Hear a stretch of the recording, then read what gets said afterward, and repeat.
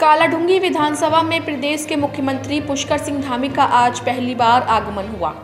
इस मौके पर बीजेपी प्रदेश अध्यक्ष महेंद्र भट्ट, सांसद और केंद्रीय रक्षा राज्य मंत्री अजय भट्ट, क्षेत्रीय विधायक वंशीधर भगत के अलावा बीजेपी के अन्य पदाधिकारी भी कार्यक्रम में मौजूद रहे। वहीं इस मौके पर मुख्यमंत्री ने तमाम कार्य योजनाओं का लोकार्पण और शिलान्यास किया। जिसमें पिचानवे करोड़ की 36 योजनाएँ शामिल हैं, जिसमें स्वास्थ्य सड़क, मंडी निर्माण के अलावा पेयजल योजनाएँ भी शामिल हैं। मुख्यमंत्री ने नकल विरोधी कानून को प्रदेश में सख्ती से लागू किए जाने की बात कही, जिसमें लोक सेवा आयोग और अधीनस्थ चयन सेवा आयोग की तरफ़ से भविष्य में निष्पक्ष परीक्षण कराए जाने का भी आश्वासन दिया है। वही कार्यक्रम को केंद्रीय रक्षा राज्य मंत्री अजय भट्ट,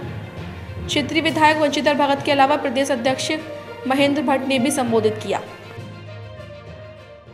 घोषणाएँ की गई हैं। वो घोषणाएँ यहाँ के लिए नितान्त आवश्यक थी और इन घोषणाओं के होने से और जब ये धरातल पर उतरेंगी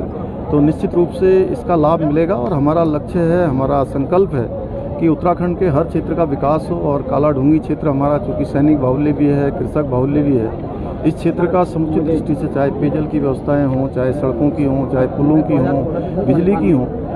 इन सभी क्षेत्रों में हम काम करेंगे और ट्यूबवेल स्थापना से लेकर जहाँ पर भी जो काम सीएम साहब यूथ पॉलिसी पर आप काम कर रहे हैं खेल को लेकर खेल विश्वविद्यालय आप लोग बना रहे हैं। हम लोग चूँकि चाहते हैं कि आने वाले समय में हाँ, हाँ। जिस प्रकार से हमारे यहाँ की प्रतिभाएँ आज राष्ट्रीय और अंतर्राष्ट्रीय स्तर पर बहुत शानदार प्रदर्शन कर रही हैं और बहुत हमारे अं- प्रदेश के अंदर संभावनाएँ हैं उन सभी को उन खिलाड़ियों को जो सामान्य परिवारों में पैदा होते हैं हर प्रकार की उनको सुविधा मिले और खेल विश्वविद्यालय बन जाने से निश्चित रूप से उनको अनेकों क्षेत्रों में जाने का अवसर मिलेगा। इसको लेकर हमने खेल कोटा भी चार प्रतिशत का जो बंद हो गया था, उस खेल कोटा को भी प्रारंभ किया है। मुख्यमंत्री उन्नयन खिलाड़ी योजना भी हमने प्रारंभ की है और इसके साथ साथ नई खेल नीति भी हम लेकर आए हैं और खेल विश्वविद्यालय बनाने का